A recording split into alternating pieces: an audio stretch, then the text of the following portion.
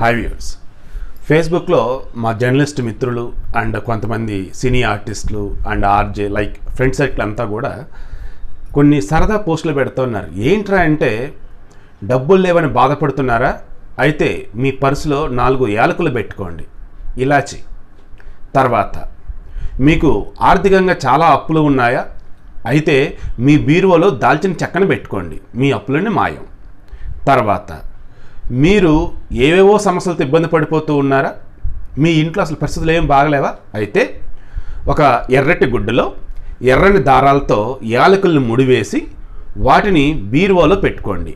ఏది పూజ చేసి. అసలు ఎంత కామెడీగా అనిపించాయంటే నాకు ఆ పోస్టులో కింద కామెంట్ పెడుతున్న వాళ్ళు మా వాళ్ళంతా కూడా చాలా సరదాగా ఫన్నీగా పెడుతున్నారు. ఏంటి ఈ విషయం అని చెప్పేసి ఒక జర్నలిస్ట్ మిత్రుని అడిగా. అప్పుడు తను చెప్పాడు. కొన్ని యూట్యూబ్ ఛానల్స్లో ఈ రకమైనటువంటి వీడియోలు విపరీతంగా ఉన్నాయండి అన్నాడు. అవునా ఏ ఛానల్ అండి అన్న. సో అండ్ సో అని చెప్పాడు. నా అసలు ఇవి నా ఛానల్ పేరు చూడడం ఇష్టం లేదు. మీలో రెండు ఫాలో అయితే లేనిపడి ఇబ్బంది మళ్ళీ.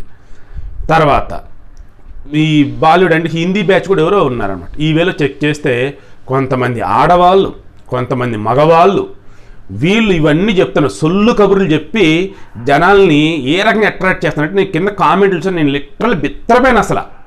గురువుగారు చక్కని చిట్కా చెప్పారు. గురువుగారు మంచి సందేశం ఇచ్చారు. గురువుగారు మంచి ఉపదేశం ఇచ్చారు. వామ్మో వాడలుచ్చాగాడు వాడు చెప్పేది సొల్లు కబుర్లు.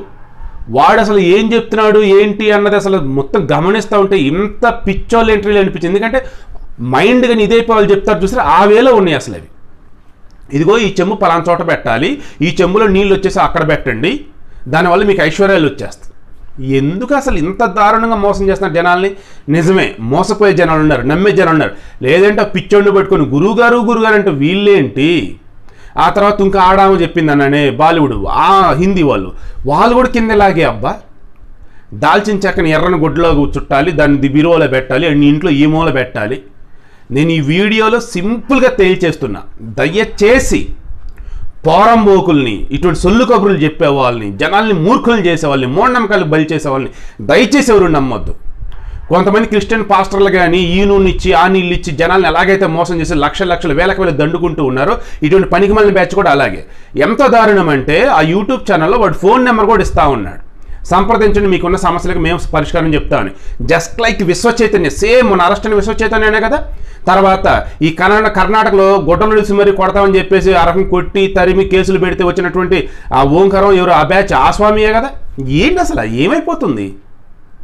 బాబాలు స్వామీజీలు ఇప్పుడు వచ్చేసి యూట్యూబ్ ఛానల్స్ పెట్టి ఇదిగో ఆ మూలికలు ఈ మూలికలు యాలకులు దాల్చిన చెక్కలు కర్మరా బాబు అనిపిస్తుంది నాకు. మరి ప్రభుత్వం ఎందుకు ఇటువంటి సుమోటోగా స్వీకరించడం అర్థం కాదు ప్రభుత్వం ఇస్ నథింగ్ బట్ కోర్టులు ఎందుకు ఇవన్నీ సుమోటోగా స్వీకరించవు అసలు? ప్రజలు తప్పుదారి పట్టించడమే కదా? ఎంత దారుణం అసలు? అయితే దానికి ఏం చెప్తారు వీళ్ళు? దానివల్ల వచ్చిన నష్టం ఏమీ లేదు కదా.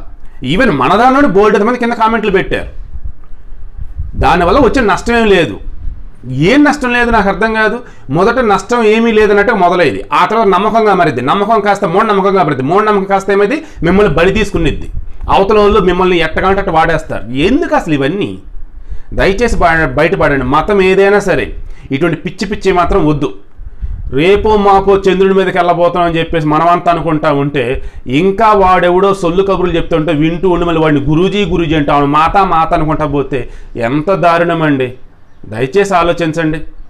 మీరు మంచోళ్ళండి.